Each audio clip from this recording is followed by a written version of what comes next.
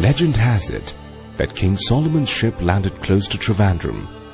In fact, as early as 190 AD, it is believed that Trivandrum served as a prominent trading center for spices, sandalwood and ivory. By the 18th century, Trivandrum adorned a prominent role after it was made the capital of Travancore and again later in 1956 when it was declared the capital of Kerala. And now, Trivandrum is coming into its own as a bustling high-tech IT investment destination.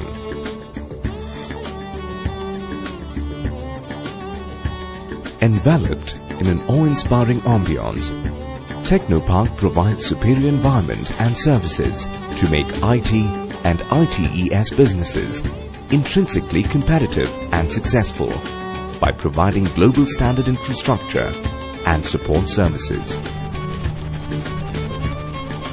Spread over 250 acres of lush green settings and with 1.5 million square feet of ready-to-use state-of-the-art built-up space, Technopark offers a unique confluence of advantages not found elsewhere in other comparable Indian destinations, which include robust and fail-safe infrastructure, power and data connectivity, highly trained and easily trainable technical manpower, and most flexible regulatory framework.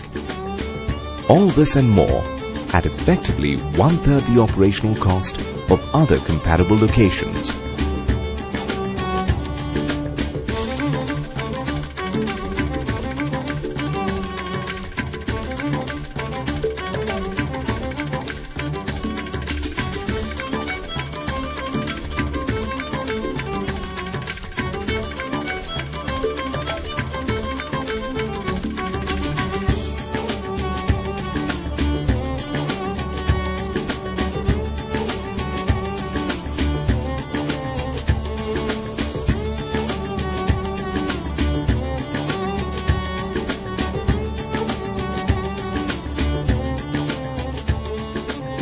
Technopark's vision is to provide a holistic enabling environment to make the knowledge industry intrinsically competitive and world-class.